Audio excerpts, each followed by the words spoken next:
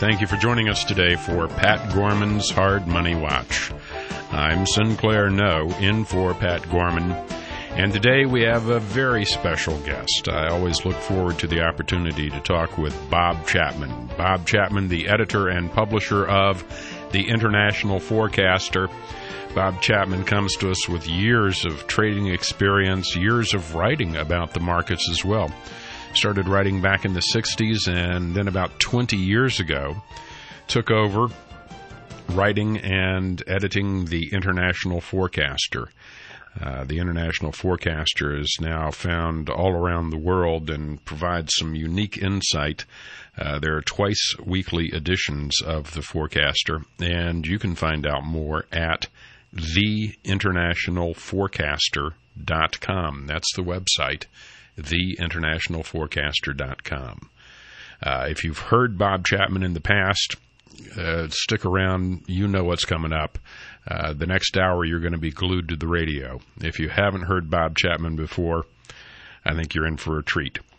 Good morning, Bob. How are you? I am fine, and it's very nice to be here again. I better clear my throat first. Yeah, we've got some talking to do. I don't know where that frog came from. anyway, I'm very happy to be here. Always a pleasure, sir. There is so much for us to talk about. We will open up the phones and, of course, take uh, questions from listeners. But I want to start with asking you a little bit because I know you, you, you have been following the situation in Greece um, extensively. And this past week, it looked as if maybe there is some sort of a resolution. Uh, they came up with a disorderly default, but then they said maybe there's a default in there for credit default swap purposes of a little bit on the side. It's as if they wanted to do the disorderly default, issue new bonds, and yet at the same time say that credit default swaps are not just worthless pieces of paper. I, I'm I'm not sure I quite follow what they've done. What they've done, the uh, sellers of credit default swaps, which are insurance policies, they have decided, per their previous announcement, that, that all of this wasn't going to be covered. Uh, they changed their mind and they're doing partial covering. They're talking in terms of three billion. They had to do that because if they didn't do that, it'd be out of business. Who's going to w- work with a bookmaker or a lender who says, "We're going to change the rules this week, and you're not going to collect"? Don't ask us why. Just shut up and do what we tell you to do. And that's really where they were. Yeah. So they had to do something. But that number is not three billion. The total number was seven to seventy-five uh, billion. You cut it in half because you get two sides of the trade. I think the losses are going to be somewhere around thirty billion, and you won't find out until six months to a year after it's over that that in fact are what the numbers were. And of course, the Federal Reserve, which they own, these major banks in New York City, they're going to give them the money to pay off. But they haven't told you that yet. Now, as far as the deal itself, first of all, they broke the law. They don't care. They make the rules. They do anything they want. Secondly, Greece does not have enough money in the new bailout to last us more than, than a year. Why? Because the people aren't cooperating. Nobody's paying any taxes. There's no revenue to speak of coming in. In fact, uh, in January, spending rose 8.5%.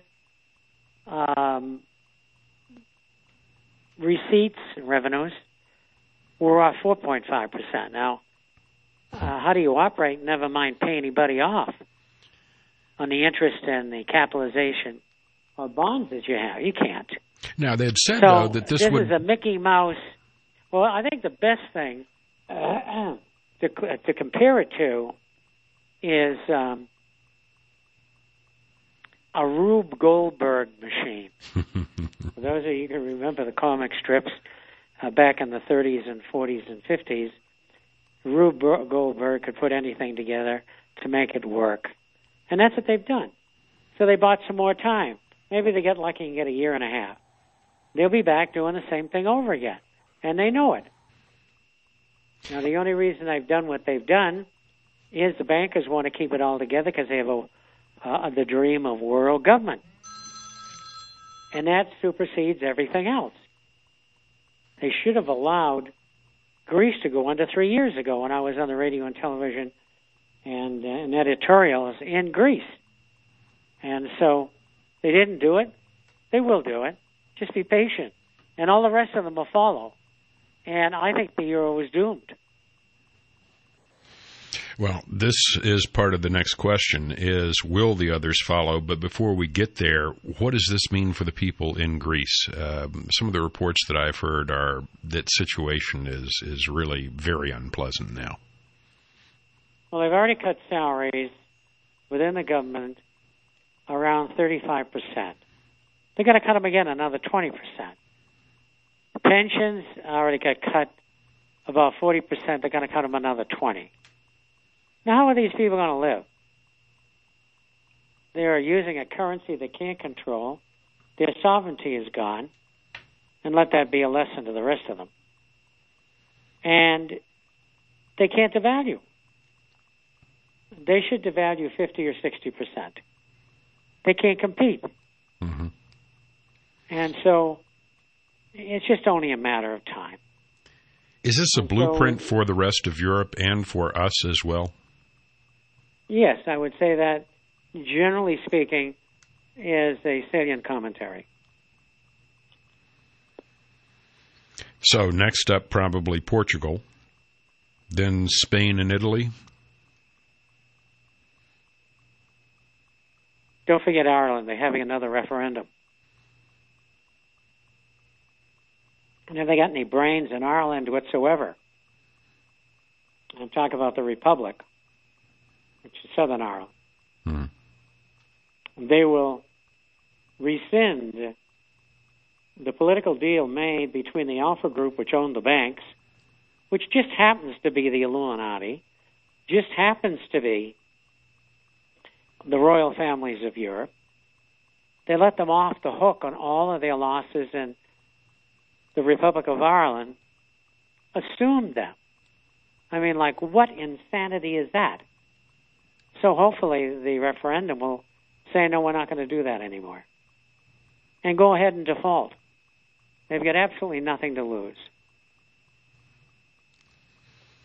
Seems as if default actually is a preferred method. I mean, if you look at uh, if you look at Argentina, you look at Iceland, a couple of the more recent examples. Default is painful, but doesn't last that long. Well, in these cases, Argentina is a semi example because they went 70% write off, 30% payback and that's not good enough. Uh, these these countries are really buried, and the solvent countries that lent them the money, they knew what they were doing. They knew they couldn't pay back. The banks knew they couldn't pay back.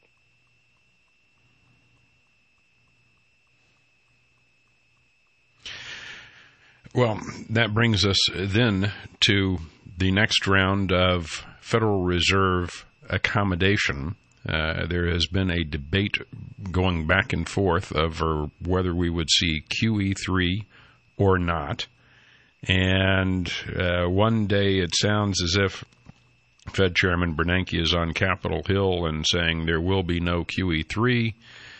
Um, and then a few days later, there's a form of QE3, although not called QE3. Um, looks as if the Federal Reserve is this year going to be shoveling money out of the uh, helicopters and directly into the housing market. Um, but it does look, I would think, and and your opinion on this, Bob, is this the form of QE3 that we're going to be seeing this year? Is, is a jolt for the housing market not called QE3? Well, there's two of them. The first one is the twist. Mm-hmm. And actually, they're operating as QE3. Have been for several months. and they will continue to do so by selling the short end of the Treasury market and buying the long end. That's so they can bring rates down and hopefully bring the 30 year fixed rate mortgage down to 3.5% to qualify more people. And see, they know things that the public doesn't know. And one of them is that the inventory out there is going to end up two years from now probably being about 9.8 million homes. They're going to start bundling these homes to Fannie and Freddie hold, which is about 500,000. And they're going to put them in groups of a billion at a time. That's what they're worth, so to speak. Mm-hmm. And they're going to auction them. And then the buyers, who will be hedge funds and other institutions, because uh, I don't know anybody who has a billion dollars that can go do that. And of course, you can't No. because you don't have that kind of money. No. And so what happens next is they take them, they fix them up, and they rent them. Then they put them into REITs, real estate investment trusts. That's the way they're going to try to get rid of some of them. But, you know, 500,000 homes is okay. But how about the other 9.3 million that we'll have over the next two years? And, you know, the lenders, banks, they have been the ones who have been servicing and relieving the lower end of the market. Uh, that's probably homes that originally from say 400,000 downward and now worth 200 or thereabouts. what they're going to do is start the banks now. Uh, they're going to start foreclosing on these homes that are worth that were worth from 400,000 to 40 million, whatever. And they're coming on the market. And they have not been on the market before.